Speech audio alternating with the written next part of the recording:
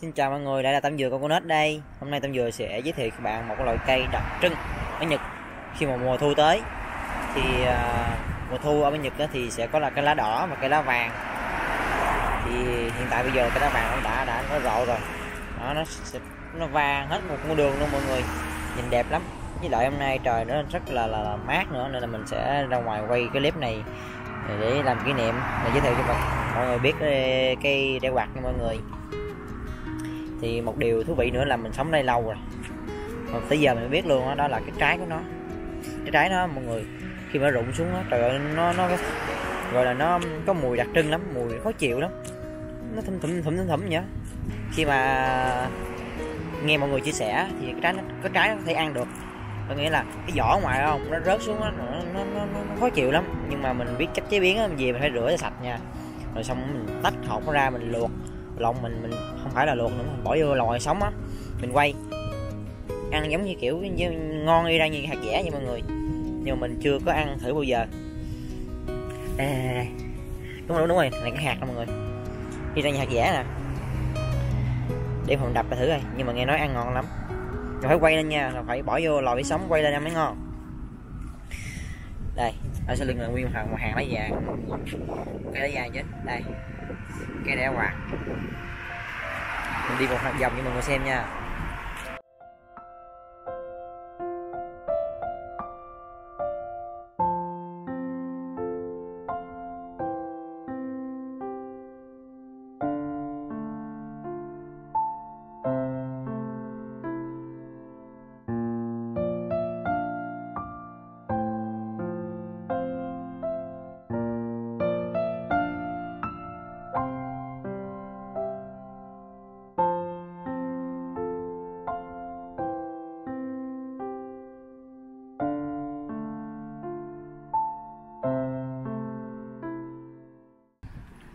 Đây mọi người. Ở giờ nhà mình có một con đường này nè hai bên. Trồng san sát nhau như nè. Khi mùa thu tới á bao đẹp luôn. Cái này mà có mẫu ha. Bằng áo dài hay là gì đó ha. Phối đồ vô chụp hình là lên hình rất là đẹp luôn. Đây. Cái cây nữa nè mọi người. Cân cảnh đó, gọi là cây rẻ quạt. Ai mà coi ai, à, hoạt hình đó anime trong à, bộ phim nhật bản á thì sẽ biết cái cây loại, cái cây này. Đây mình kiếm, đây nè dưới đất nè. Lá rụng như nè. Để mình kiếm cái trái trái cho mọi người xem nha. Đây, cái trái hồi nãy mình lụm nè. Đây. Như nè, mọi người thấy rõ không nhỉ? Ha, đây. Khi mà nó thối rửa ra là mùi khó chịu lắm nhưng bây giờ mình, mình mới biết nữa là cái cái cái, cái hạt ở trong ăn giống như hạt dẻ vậy đó. Nè mình lụm đi hồi mình về làm thử cái ăn ngon không ta. Nhìn thử vào nha. Thử ngon nha. Để. Thôi vào bảo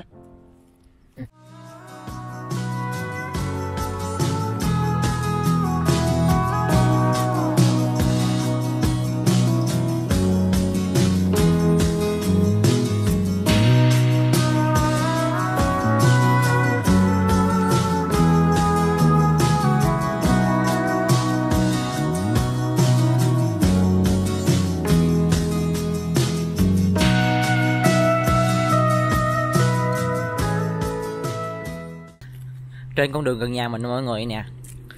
Là một nguyên một hàng lá vàng đúng không? Bên kia là nguyên một hàng à, hoa anh đào. Mùa thu tới là sẽ nhắm hoa, hoa cái cây lá vàng này ha. Mùa xuân sẽ tới nguyên một hàng hoa anh đào nó rụng ngay bờ sông này thấy không? Ở dưới có cái cây cỏ lao mọi người thấy không? Đây nè nguyên một đoạn đường này nè. Đây nhìn nó nó nó sao ta? Nó thơ mộng hả? Gió thoang thoảng rồi đẹp. 20 độ vậy á, nó rượi mát gì đó. Rất là dễ chịu. Đây là nhà san sát của Nhật này nhà nào nhà nấy không có cao. Ngang ngang ngang vậy nè. Đây là vườn của ngoại. Vườn nhà kính của ngoại. Ngoài dán lưới hết trơn rồi. Đủ loại cây luôn. Mình là nữa gì mình già mình thích cái kiểu như nè. Cái gì cũng có trong trồng ở trong ví dụ như hồng nè cái bi hoa nè cam quýt ổi. Các kiểu. Ừ. nhìn cảnh sao mọi người? Cảnh này mọi người thấy uh, có thú vị lắm không? Giống như phim uh, hoạt hình của nhật hả? Đây mình sẽ quay lại cảnh thu. Ai, làm kỷ niệm mai mốt có cái uh, uh, mốt mình có về Việt Nam mình sẽ xem lại chắc vui lắm. Thích. Làm kỷ niệm.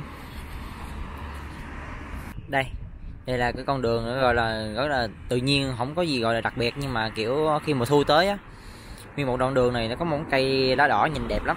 Này mình đứng giữa hai cái nguyên một con đường này nè. Kỳ luôn. Nó dịu mà thoải mái nữa. Nguyên một bờ kênh bên kia là nguyên một hạt hoa anh đào. Đó, lúc trước mình quay hoa anh đào thì mình quay đường bên kia mọi người. Đó. Vốn dĩ là đường rất là bình thường mọi người gì không có gì đặc biệt hết trơn á. Nhưng mà khi mà mùa thu tới thì có những cây này nó điểm lên nhìn nó rất là đẹp luôn đó đây là rất là chuyện rất là bình thường mọi người không có gì gọi là đặc biệt đối với ờ, đất nhất người bản này hết nhưng mà mình cảm giác như là rất là đẹp luôn. Uhm. này nè đây nhật nó trùng tu uh, cầu nè mọi người thấy không? Làm theo quy trình. Đắp nguyên một con sông này luôn. Gần nhà mình có một con đập á. Nó làm tới hai năm mấy ba năm mới rồi luôn. Nó chỉ trùng tu vậy thôi nhật nó làm gì nó phải tốn công tốn sức lắm mọi người.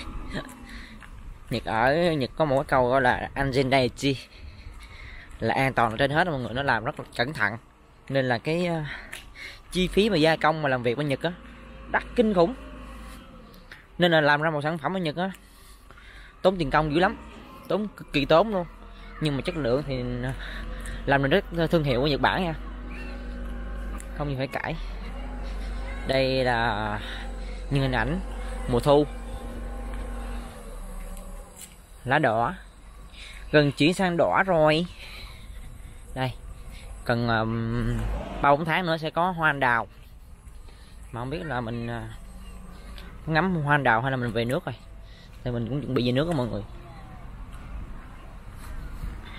Đây là cái công viên uh, quen thuộc của mình. Hay đến buổi chiều. Nhưng con mọi người họ rất là thích là dẫn con đi ra ngoài chơi. Đó, đây nè.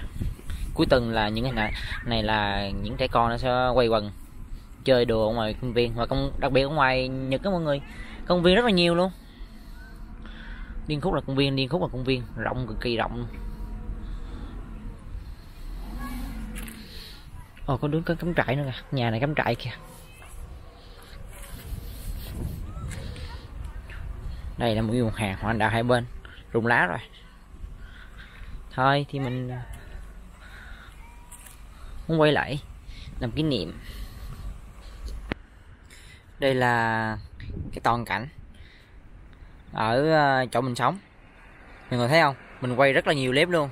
Tất cả các nơi đều khác nhau. Nhưng mà mọi người nhìn sơ như là sẽ không biết được là cái khu nào khu nào cả tại vì nhà nhật ấy, từ từ từ từ từ nhau không có gì khác biệt hết trơn đó. Xung quanh là núi non toàn là núi không à. xung quanh mình toàn là núi không mọi người. Cảnh thế nào à? không có tệ nữa nha.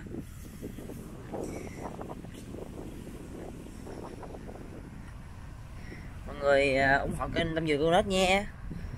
Hẹn gặp lại những video sau nha mọi người. Bye bye.